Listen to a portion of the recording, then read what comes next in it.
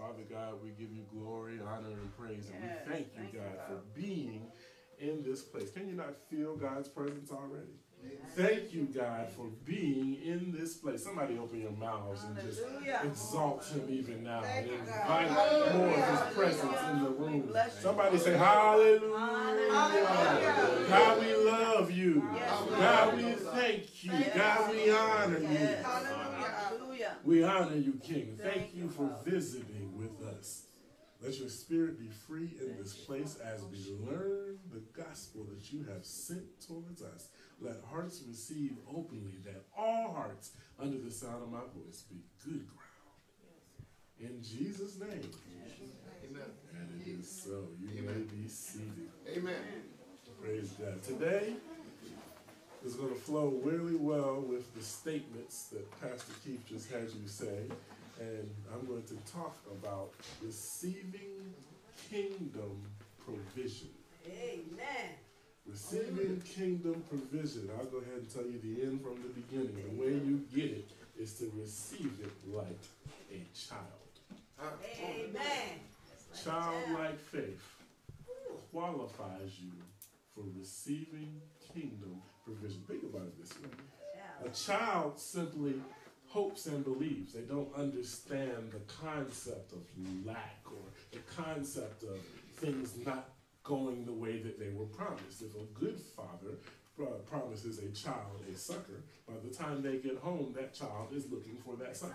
They don't have an excuse written in their mind already about why they might not get it. There may not be provision. Maybe there is not enough suckers in the house. They simply know when we get home, I'm going to get what was promised to me, which is the sucker. Same thing applies with our provision. God promises it to you and He puts it in the spirit and then tells you you have it already. And it is your job to possess that which He already gave you. But you do it by believing simply the way a child would. Don't ask questions. Don't want question it yourself. Don't negotiate with God. Simply say, I receive it. You said I'm the head and not the tail. I receive it. You said I'm above and not beneath. I'm receiving it. You said I'm a lender and not a borrower. My credit score says something different, but I receive that which is in the spirit, and you will possess it when you simply don't look at what your reality says, but what God says. I want to talk about receiving kingdom provision. There is one topic that Jesus talked about the entire time he was on earth nonstop, and that was the kingdom of God. He kept saying the kingdom of God is like this, and then he would do something to show you the kingdom's move. Now, I want to show you in a way that uh, the way God showed me. And we're going to talk about uh, Jesus feeding the 5,000. Now, we've heard this many times, but I want to show you why this is so seriously important. Let me break it down to you this way. There's only one miracle that is recorded in all four gospels other than the resurrection, and it's this one. None of the other miracles, of all the miracles Jesus did, did all four gospel writers decide to include except this one. So there was something important that they all see. There's three synoptic gospels Matthew, Mark, and Luke, meaning they're so similar, we call them synoptic. And then John did his own thing. He still talks about Jesus, but he got a whole different oh, set. He talks about something completely different. But even John put this one in there, along with all three of the other ones. Even the other three typically don't have the same miracles. You'll see it in two, but not three. But here, this one is in all of them. He's trying to tell us something about kingdom provision. I can go a little bit deeper and tell you that this is literally at the time that John the Baptist died. And if you study the Word of God in the Old Testament, uh, John the Baptist had to end his ministry prior to Jesus beginning his ministry. So as John was dying, this was actually occurring. He was starting the provision of the kingdom. Let's get into it. Mark chapter 6. I'm going to read it to you in two different of the Gospels, but we'll talk about all of them. But Mark chapter 6. Before we even get to the feeding of the 5,000, I want to talk about just in general the provision that he was teaching during that time period. So if we go up and we start at verse 8, Mark chapter 6, verse 8, he's sending his disciples out with power. He's sending them out and he's saying, I'm giving you power over unclean spirits. Matter of fact, this is a very important time period. This is one of the only times when Jesus tells them to anoint people with oil. He was being very specific about having the oil. He then goes on and says, verse 8, and commanded them that they should take nothing for their journey, save a staff only, no scrip, no bread, no money in your purse. Be shod with sandals, and don't even take two coats. You, you understand what, what's, what's being said here? Jesus is saying, I am teaching you how to operate under kingdom provision. In Matthew chapter 6, verse 33, we love to say that Jesus said, Seek ye first the kingdom of God and all of his righteousness. But then it says, And all these things will added. What are these things? Well, it tells you before that verse what those things are. Don't worry about what you're going to wear, I'll provide that. Don't worry about what you're going to eat. I'll provide that. It goes on and says, Don't even worry about the troubles that you will run into till tomorrow because I will take care of those tomorrow when you get there. When you understand kingdom provision, you understand that by the time you have the need, the provision will come with it. Amen. You simply have to believe like a child and not worry about it and just go. He said, Don't even take two coats, take only one. Don't take any money. Don't take anything. When you get there, I will say, have somebody sustain you. Uh-huh. This is how he wants you to trust in him. When you can't see your way out, is when we're supposed to be the most comfortable. When it gets bad and it's dark outside and everybody else is panicking, we're supposed to rest in the back of the boat like Jesus did when he was asleep during the storm. Amen. And say, it's going to be all right. Y'all going to be all right too because I'm on the boat. and Jesus takes care of me. Can I get an amen? amen? Continuing on, then it happens to where John is killed from here and ends his ministry, and Jesus officially begins uh, the sending the kingdom and speaking on the kingdom by teaching about feeding the 5,000. Let me break down this miracle because it's in all four Gospels. So we'll touch on all of them a little bit, but let me concentrate starting on Mark and then we'll do John chapter 6 verse next. So Mark chapter 6 in verse 31 it says, And he said unto them, Come ye yourselves apart into a desert place. Let me stop here. Let me break down these gospels again real quick. So Matthew, known as Levi at the time, he was a tax collector and he was very good at detailing. Matthew has the most details out of all of the four Gospels. Why? Because as a tax collector, one of the, your job descriptions is you have to be able to write in shorthand. Amen. So he most likely took really good notes. So Matthew gets a lot of details. Luke was a physician. He was pretty good with details too. He got his details from other people. Luke was not an eyewitness. He got his details from uh, interviewing people. John was with Jesus. John concentrated on the love of Christ. But Mark was a little different. Mark was really short and to the point. Mark is the shortest of the Gospels because Mark don't talk about none of the stuff that other people talk about, all the speaking and things like that. Mark cuts all that out. Mark just hits the miracles. Jesus did this, and he went and did this, and he pulled a fish out of the mouth. Mark doesn't give you details. Mark just wants you to understand the point. But for some reason, in this particular miracle, Mark gets kind of detailed. He says he they, they departed into a desert place. And then he concentrates on you understanding that the place that they went to was a desert. I need you to understand what a desert is like over in Israel. It's not just like saying this place is deserted. In Israel, when they say it's a desert, it's a desert.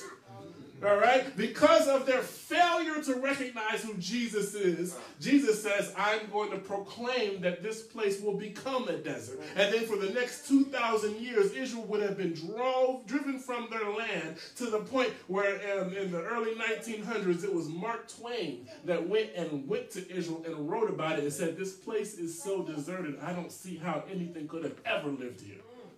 It was a desert. We break it down to you. God likes to move when we're in the middle of a desert situation in our lives. Amen. And so he goes on and says, For we have many coming and going, and they have no leisure so much to eat. Verse 32 in Mark 6, verse 32 says, And they departed into a desert place by ship privately. See, he's concentrating on this thing. And the people said to him, departing, and many knew him and ran afoot thither out of all the cities and outwent them and came together unto him. So Jesus over here trying to get away. But people heard that he was coming, so they ran to the desert too. Jesus was really going to the desert to get away. but they said, We coming too? and when Jesus came out, he saw much people and was moved with compassion towards them because they were not, they were as sheep, not having a shepherd. Remember that and put a bookmark there. They were like sheep, not having a shepherd. Again, this is Mark is the only one that records this. And he begins to teach them many things. And when the day was not far spent, the disciples came unto him and said, This is a what? A desert place. And now the time is far past. Send them away that they may go into the country round about into villages and buy themselves bread, for they have nothing to eat. And he answered and said, Give them to eat. Give ye them to eat. And they said unto him, Shall we go and buy 200 penny worth of bread and give them to eat? And he said, How many loaves have you? Go and see. And when they knew, they said, Five and two fishes. And he commanded them all to sit by companies upon the green grass. Again, Mark don't put sort of details like this, but he wanted to make sure you know it was a desert place, but this grass was green. Come on. And they sat down in ranks by hundreds and fifties. And when they had taken the five loaves and the two fishes, he looked up to heaven and blessed and brake the loaves and gave it to his disciples to set before them the two fishes, and divided he among them all. And they all did eat and were filled. And then catch this. And they took up 12 baskets full of fragments of the fishes. And they that did eat of the loaves were about 5,000 men. That's just counting the men. There was women and children there too. Amen. This is a miracle of kingdom provision. But I want you to understand it started when they were in a desert place. Same miracle, John chapter 6. Starting in verse 4. And the Passover, a feast of the Jews, was nigh. And letting you know we're about to go into Passover. We're about to have that meal, the supper. Then he goes on and says, When Jesus lifted up his eyes and saw a great company come to him, and said unto Philip, Where shall we buy that these may eat? And he said this to prove him, for he knew himself what he would do. Verse 7 says, And Philip answered, 200 penny worth of bread is not sufficient for them, for everyone to take a little. Now, I'm going to start breaking this scripture down so we can get an understanding. Kingdom provision. Let's talk about kingdom provision. God promised that we would live in prosperity. Some, some lately, people have been talking about prosperity almost like it's a sin. God says you will live in prosperity. He says, above all, I want you to live and prosper. He says, I give you provision so that you can live a prosperous life. Everywhere in the Bible, he described prosperity with his people. Yet a lot of times we seem to walk around operating in what is perceived to be lack. God says, I promise you prosperity. So it would make sense that Jesus would live under the same favor. See, we have this misconception that Jesus somehow was this poor, broke Christian man that just did miracles but that would not follow with what the rest of the Bible promises. The Bible promises to make us the head and not the tail. The Bible shows favor. And in the desert place, God said He sent Isaac to sow in the middle of the desert, in the middle of the famine. And He said the same year he received a hundredfold on his seed in the middle of a desert. So if that's good enough for Abraham, Isaac, and Jacob, surely God will bless his son. See, there's a misconception that Jesus was broke. See, we, we, we have this scripture, there's a scripture, it says that he became poor so that we might become rich. But if you take comparatively from where he came from, Jesus, where they use gold for pavement, anything down here is poor. and then Even if he somehow was born into a poor family, which the Bible doesn't say that, it says the only reason they were in the barn was because they didn't have room. It didn't say they didn't have money, it said they didn't have room. See, he humbled himself. The Bible says Jesus did not consider it robbery to be called equal to God, ah. meaning he was literally God in the flesh. He was equal to God. And yet, even though he knew he was equal to God, he humbled himself like a child and wanted to make sure that you knew that he wants every last one of you, the least of you, the ones that think that they, he's not even looking at you. He says, I know every hair that's on your head. I count them. I want you to know it, so I'm going to send myself as a seed and be born in a barn next to some cows so you understand you're who I'm looking for. And he humbled himself to be birthed in this manner of the worst situation. Can you imagine going into labor next to some cow dung? God did. With his own son. But he didn't stay poor.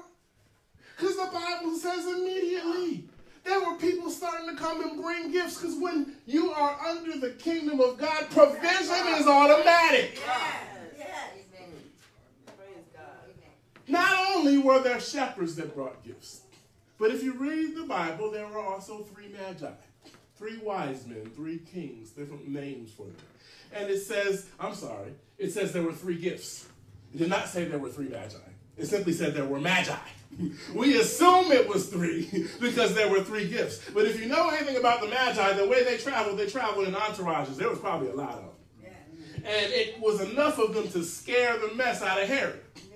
And if you look at Jewish history, you understand that they were actually enemies. Enemy, Herod and the Magi didn't even like each other. They had some serious opposition. Yet the Magi risked it all, showed up in the middle, and said, We've been following this stuff. Let me break this thing down to you, make sure we have an understanding. 500 years prior to that happening, there was a man in the Bible, probably the most prophetic man that I can think of in the Old Testament. His name was Daniel.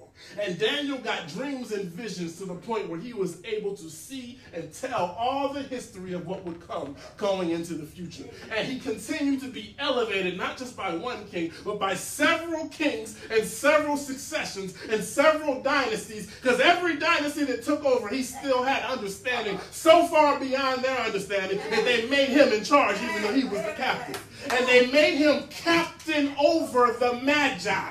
And if you look in Daniel chapter 9, Daniel, who was so specific with his prophecies, he actually gives you a countdown to Jesus. You can take a count and add the number of days, he says, and it'll actually bring you to the day that Jesus was walking down um, on the donkey being received on what we call Palm Sunday. Daniel was that specific and he was in charge of the Magi. So you better believe he had at least a set of those guys. And there were some pagan guys, but he had at least a set that he said, There's a king of the world that's coming. I can tell you the date. You can look for the star. And it, through the generations, they were prepared and they had great wealth. So when it says they came with three gifts, the three gifts simply represented what Daniel told them would be. He, they brought gold because he was a king. They brought frankincense because he was a god. And they brought myrrh because he had to die. They had understanding, which is why they were called wise men. Jesus wasn't broke, Jesus was okay.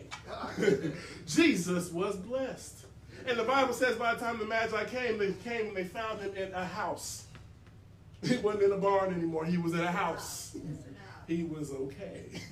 Jesus had provision. Let me keep going. It says that in several of the Gospels, it specifically says 200 pennyworth is not enough to feed 5,000 plus the women and children. Well, they keep saying the same thing, 200 pennyworth. So I looked up pennyworth just to make sure I had an understanding, because to us it sounds like a small amount of money, a penny. But no, a penny worth was a whole day's wage, and they had 200 of them. When you put that in today's time to give you an understanding, he had $30,000 in a bag while he's out there in the desert. they didn't have Apple Pay back there. They had to carry what they had with them. So they carried a bag, and all they brought that day was 30 grand. And they said, we got 30 grand, but that ain't enough to feed all these people, so what you to do? Jesus was not broke. Kingdom gives you provision. Let's keep going. And one of his disciples, verse 8, Andrew Simon, Peter's brother, said unto him, There is a lad here which has five barley loaves and two small fish, but what are they among so many? Understand, John is the only one that describes specifically that there was a child it's important to understand it was a child because the Bible says you have to enter into the kingdom as a child. The child had simple faith. See, children don't think about the optics, they simply believe. The child was sitting there with 5,000 men around him, so probably 10, 15,000 people around him. I don't know why he the only one his mama thought to bring him some food. He the only one. and then he said, well, his mama was I got something. Here you go. See, us, we would have thought completely differently. I'm the only one out here in the desert. I got fucking hide this. I need to hide this. I got food. I can't tell them to eat this real quick. it's fish. Fish go bad fast. they try to, they try to get. But he said, no, no, no, no, no. I'm gonna put this in the hands of Jesus because he was a child and he simply believed, and that's what triggered the kingdom provision. Amen. When you think like a child. Verse 10. And Jesus said, Make the men sit down. Now, here again, we're going to see the same thing. Uh, Mark said there was green grass, but Jesus now says, Now there was much grass in that place. So the men sit down in the number of 5,000. And Jesus took the loaves, and when he had given thanks, he distributed to the disciples and disciples to them that were set down, and likewise as many fish as they would. And when they were filled, he said unto his disciples, Gather up the fragments that remain, that none be lost. Therefore they gathered unto them, filled twelve baskets of fragments, and five barley loaves, which remained over and above them that. It is specific. The Bible wants you to understand. The writers of these Gospels need you to understand. He didn't just feed 5,000, but there was 12 baskets left over. When the kingdom kicks, provision kicks in, you're going to know it because you're going to have more than enough. God is not a, a, God of almost enough. He's a God of over and abundance. I came that you may have life and that you may have it more abundantly. And so there were 12 baskets left over. See, if you look at the history of how Jesus typically performs his miracles, I believe he simply took the fish, put it in the baskets, handed it to the disciples, and tell the disciples to start handing it out. And what they couldn't understand is every time they reached in and put in something else, there was something else down in the basket. And by the time they kept going, it just simply kept growing. Instead of going away, it got bigger to the point where when they were done, all 12 of them had a basket and it was overflowing. That is kingdom provision. Do you understand that these things are not metaphors or stories for us to feel good. It's real. Real. And you have access to it.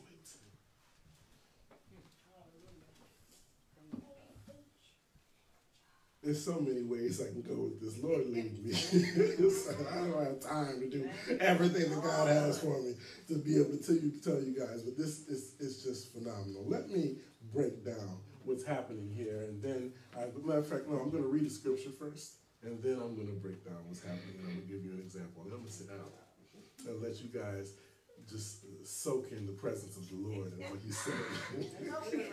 Matthew chapter 18, verse 3, it says, And verily I say unto you, except ye be converted and become as a little child, ye shall not enter into the kingdom of heaven. Whosoever shall humble themselves as this child, the same is the greatest in the kingdom of heaven. Let me show you something. And whosoever shall receive one such little child in my name receiveth me. It's going to go in talking about offense next, but let me stop there. When it says receiving one little child, you're receiving me, it is not talking just about physical children. Look at the context. It's saying if you become like this child, then this qualifies as you. And then whoever receives you receives me. When you get to the heart posture, where you simply believe God under the humility of trusting in Him beyond our natural senses, anybody that uh, deals with you is dealing with me. When they bless you, they're blessing me. When they curse you, they're cursing me. Which is why it goes on and says, But Whoever shall offend one of these little ones that believe in me, it were better for him if a millstone would be hanged around his neck and he would drown in the depths of the sea. Woe unto the world because of offenses, but it must needs be that offenses come. But woe to the man that the offenses come by. He is letting you know, I am your protector. When you lay yourself down and just trust me, I take over the same way as a protective father over his child. And anybody that offends you, anybody that messes with your heart, anybody that hurts you, woe to them. It'd be better if they were drowned because I'm going to deal with them myself. So you don't have to.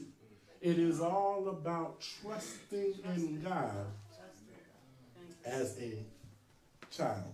Now, I want you to understand that what Jesus was doing here, he was showing that when you get your heart in this posture, he then becomes your shepherd and he takes care of you. Notice again, Mark, which is the shortest of the Gospels, describes certain things that he wanted you to understand. Number one, he said it was like lost sheep. And Jesus said, Well, I'll be your shepherd. Mark's the only one to describe that. Mark also said, I wanted you to know the grass was green. But he said three or four times before that it was a desert place. It, it was a desert place. It, it was a desert place. And he said, but he was a shepherd. See, Jesus never misses any part of your life. He counts the hairs on your head, meaning everywhere the Bible speaks or gives a promise, it always fulfills it. And if you operate under the perfection of faith, because the Bible says you are not perfect, but your faith will make you perfect. If you operate under the perfection of faith, then the word lines up perfectly and it has to take care of you. See, the thing that makes the kingdom of God so exciting is the fact that God made it automatic, which means everything that when you access it, when you unlock a certain key, it automatically shifts and gives you the provision. There's nothing you have to do but rest and believe. That's all. Praise the Lord.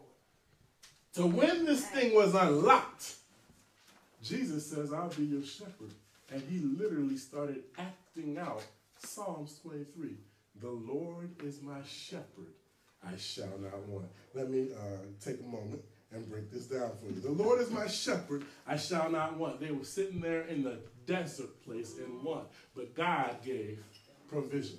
He maketh me to lie down in green path. It was a desert place. But he said, when they sat down, it became green. There were two miracles that happened here. And it was green grass because it says, I made you to lie down in green pastures. So in order to activate him being a shepherd, the desert had to become a lush land when they sat down. When you sit down and just trust God, even the place that you are in that you thought was a desert place will become green grass. John said it this way now there was green grass. He leads me beside the still waters. The Bible says they were sitting there right next to the, the Sea of Galilee. And it was the daytime, and the Sea of Galilee was very still. Matter of fact, the Bible says that right after this, just to make sure that they understood what Jesus was showing them, he says he then sends them to that sea and then lets the sea get crazy and then lets the winds start coming. And then when they get scared, and this after Peter walks on water, Jesus says, I was trying to see if you understood what happened with the 5,000 people when I fed them. Were you listening? They were by the Sea of Galilee, fulfilling Psalms 23. He leadeth me down the paths of righteousness for his name's sake. Luke's gospel describes that when he told them to sit down, he started teaching them about the kingdom of God and its righteousness. Yea, though I walk through the valley of the shadow of death, I will fear no evil. He sent them on the boat, and the storms went crazy. But he said, Don't be afraid, because I'm with you. My rod and my staff, they comfort me. Jesus came down off the mountain in the middle of the valley of the sea and walked on the water and said, I'm here. And then he made the seas calm and made the boat go to shore. He was fulfilling Psalms 23. Thou preparest a table before me in the presence of my enemies. In John's gospel, you see what he finished teaching. When he was done teaching about the kingdom, he started teaching that I am the bread of life. And he also said it was Passover, meaning that night they went and ate. And then Bible specifically said, and Judas was there too. In the presence of your enemy. My, thou anointed my head with oil. That was early in the scripture. My cup runneth over. There were 12 baskets full. When Jesus is your shepherd, this is what will happen. You can be in the middle of the desert, he's going to make it green for you. You can be in the middle of the storm, he's going to calm the storm for you. And when he gives you provision, it's going to be so much you're going to have stuff left over, and everybody will know it had to be the Father. I have literally seen this happen in my life while I was while I've been here. I know that the scriptures are genuinely true, even for today. And what I'm trying to get and impress on us is to have actionable faith like a child. Because if you really believe, you will see the same miracles. Mr. Pressley, are you saying I can see five fish and two loaves turn into 12 extra? Yes. yes, I, it might not be fish. It might be in your bank account, but yes. that will literally happen. There was a time and I and now that I'm starting to, to, go back and tell these testimonies, y'all know I got testimonies. I get testimonies for there. I've been seeing, I've had a gift of faith because I had a gift of faith. I've seen miracles my whole life. But there, but God has started to walk me through many of these miracles and show me why they happened. And He even showed me as I got older why some of them didn't happen because certain things in me changed. So I had to go back and remember the child in me in order to access the same things that I was getting when I was younger. Let me tell you about my first job out of college. The very first job I had, I tell y'all gonna, y'all gonna think I'm crazy about how I acted with this, but I'm just telling you, I had childlike faith. The very first job I had out of college, I'm sure I've told at least some of this testimony before. It was Target. I was working at a super Target. I was working at a super Target right after Hurricane Katrina in New Orleans. This Target was two hours from New Orleans. It was the closest city that hadn't been badly affected, so it's pretty much where everybody moved to. So it was overrun with the amount of people that had come to the city. They stopped my training short right after I got hired, and without even hardly training me, they sent me up there because they were overwhelmed with the amount of people that were in that city. They made me the overnight manager of a super target where I was in charge of inventory. I had two people below me as managers, and then about 100, 150, 200 employees that would do stocking of shelves and there were so many people in the city that they had gone from one to possibly two trucks a night to a minimum of three trucks every night that had to be unloaded. So let me break down how difficult this was. My job was to get there at 9 p.m. On a good day, I got off the next day at noon. Then, because there was nowhere for me to live in that city, I had to drive an hour to the closest hotel to stay. Get a couple hours of sleep, Go back and do it again. Every night my toes were literally bleeding from how much walking I was doing. But that's not the difficult part. The difficult part was the people that were there that hated me. The employees loved me, I had no problem with them. But management came against me like nothing that I can imagine. But the Bible says, My children, if you offend them, It'd be worse than a millstone being hung around your neck. He's letting you know you're going to go through a fence. You're going to go through desert places. Trust in me like a child, and I'll take care of you. So there was the store manager at the top. She was the daytime. There was a one lady under her. She was in charge of the whole thing. There was me that ran it. There were two other men. It was a whole management structure. There was two managers below me, and then there were all the employees. The two managers below me, particularly one in particular, decided they absolutely hated me. And when I say hate, it was unprofessional as, as humanly possible, but God wouldn't let me do anything but show love. I would walk into a room and give the instructions for everybody, and then I would go out and do my job. Before everybody else would leave, the manager had been here a lot longer than me, but he was under me, would then begin talking about me publicly in front of all the employees, how bad I was, how horrible I was, how they were going to get me fired. I mean, just publicly just demolishing my name. And I had to sit there and keep going through this, and this lasted for months. And God would tell me every time I would walk into him, don't do anything but show him love anyway. Don't yell at him. Don't, don't cuss him out. it got to the point where it got such a bad environment that the store manager who liked me came and sat me down and said, There's a serious issue going on with the with, with you guys. and I need to figure out what I need to do. And I had to be honest with her about what was going on in the store. But I said, But everything will be well. All will be well. And if I gotta go, I'll go.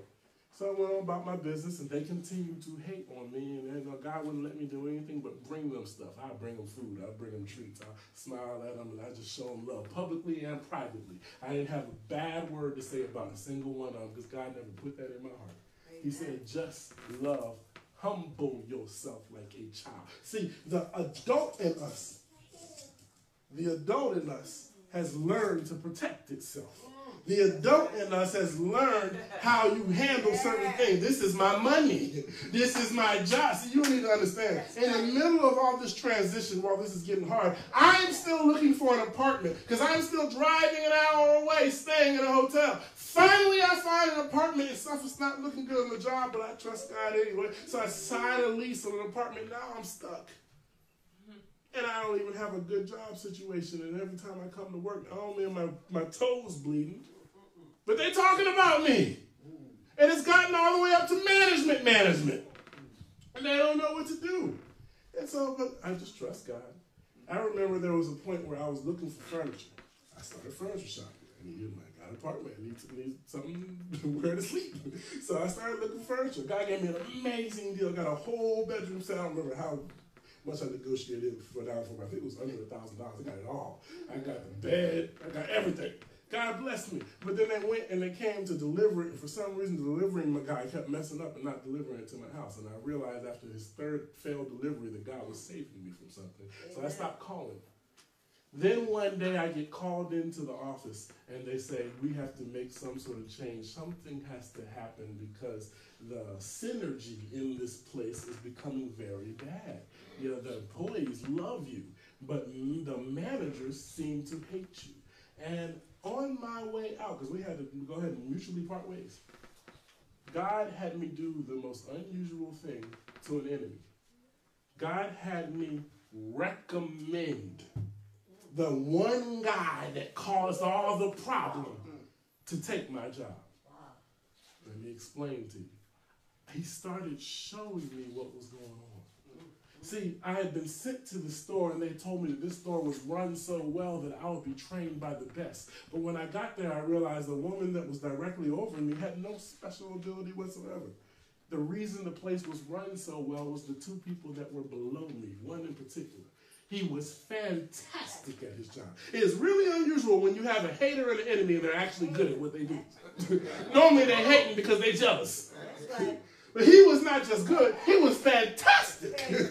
he was really good. The whole, they didn't even need me. The reason it ran so well wasn't because of her, it was because of him. And I started realizing the reason he hated me is because I was a young kid, fresh out of college, 21 years old, and I got a job over him just simply because he didn't have a degree. And they wouldn't give it to him. And for some reason, God gave me compassion on my enemy. Yes. And on my way out, I looked at the top, the top manager. She, we had a great relationship, and I said, "I know this is going to sound naive and stupid, and I, I'm very aware of why I'm leaving is because of this young man. But for your sake and because I respect you, I want to tell you the truth. I would give him my job because he is fantastic at what he does, and I parted ways.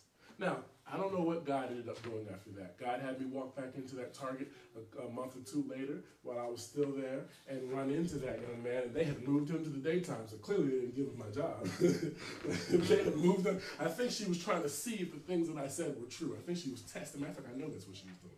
But then we had a conversation, and for the first time, I actually told him I recommended you for the job. This is the first time all of that man, man's hate melted. I just saw it melt off his face. He just looked at me. We had our first conversation as friends. We just talked. I said, I recommend you for. I don't know why I didn't give it to you. I know I recognize that you are very good at what you do, and I wish you the best genuinely.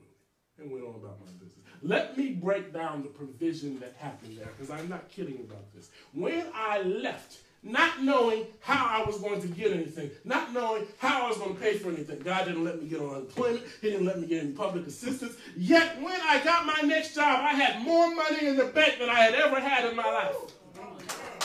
First, they were supposed to take away a relocation bonus they gave me because I wasn't there long enough. They let me keep it. Then they were supposed to cut me off, and my paycheck kept coming. One or two paychecks showed up after that. Then, even after the paycheck stopped, when I would write out checks like to my rent, see, I'm not stupid. I understand how math works. When you write a check out, your count goes down, but mine would go up.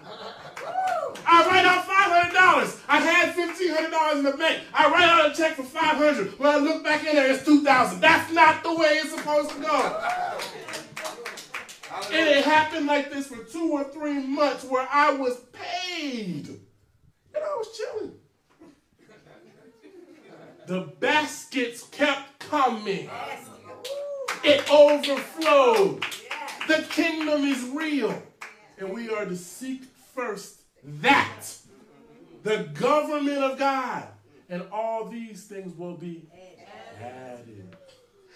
When it was time for me to take my next job, God gave it to me himself. And it was not even one I applied for. I, I remember where I was because it was unusual. I'm walking around on University of Louisiana Lafayette's campus for no reason at all. I got no business. I was just walking around looking. I remember I was looking up in the skies talking to God. just walking. I was bored. I had money. I, had nothing, I had no job. I was 21. I'm walking around. It was at night, and I remember I got a phone call, and the phone call was T-Mobile, and they said we need employees, we need reps. I never applied for T-Mobile. They said, well, we don't care that you didn't apply. We just need employees. I said, no, God has something better for me than that. But if you want to give me a whole story, you can call me back. I hung up. The next day, they called me back and gave me the biggest story in the A job I didn't even apply for. And they were paying me double what I was making as a manager.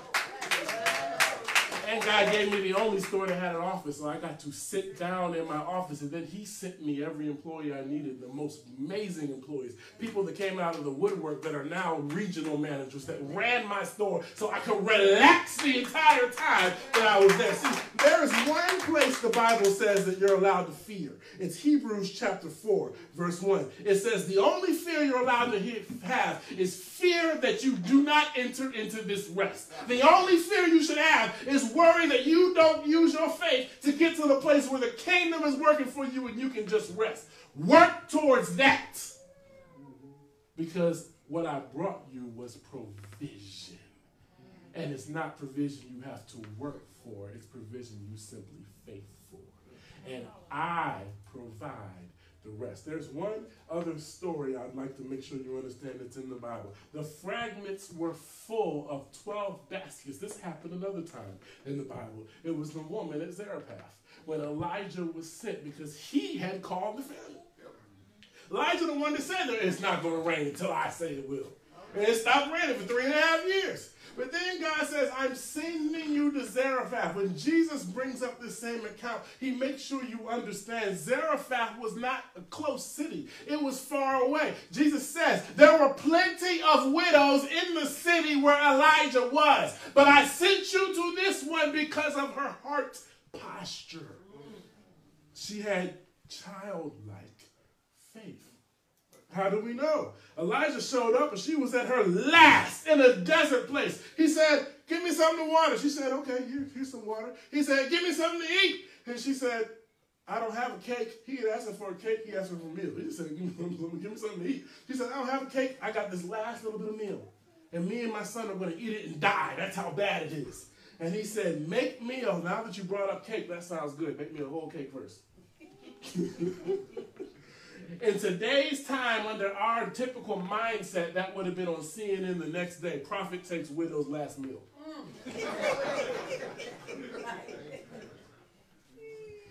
but she said, okay.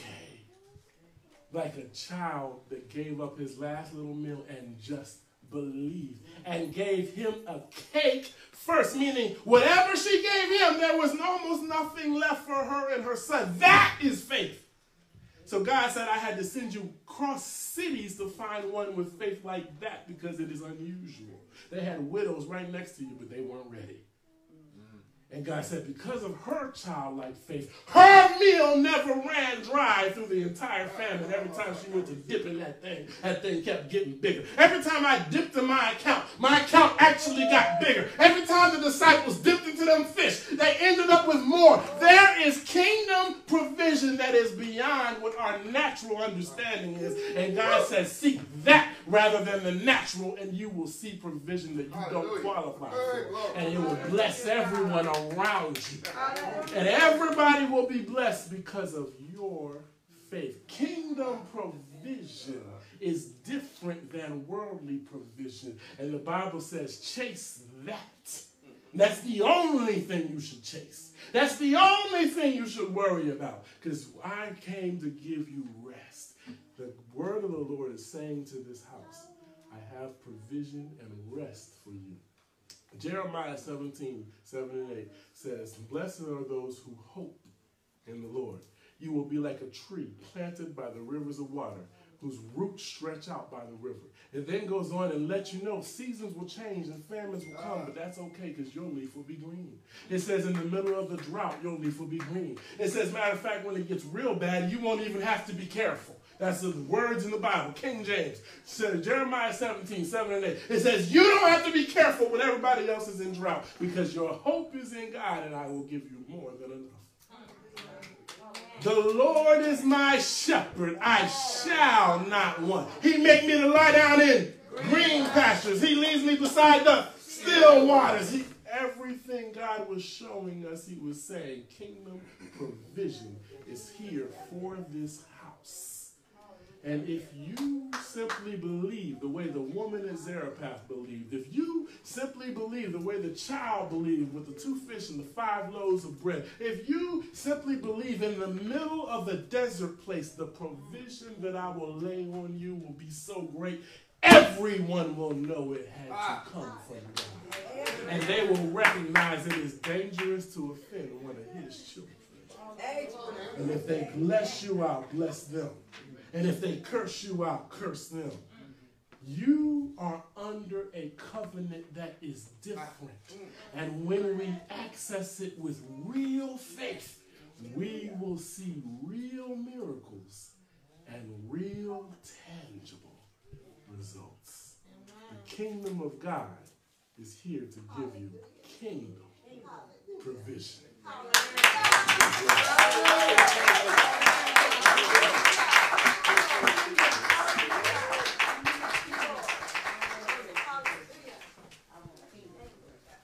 God is in this place and I can feel the spirit. Y'all feel it thick in here? Uh-huh. Thick.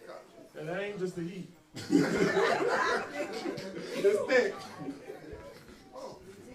God wants to do something. There's, there's a move of God that he has in this place. And he wants to inspire faith in you.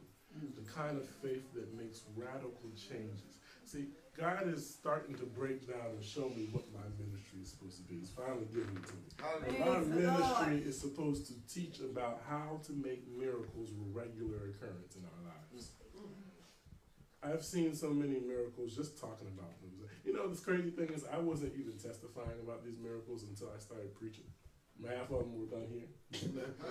I had never thought about it. I literally was living by miracles so often it didn't I, it didn't register. I didn't even realize it was something special until I started preaching, and then I was like, "Oh, God did this and that, and this and that. All this stuff in the Bible is here."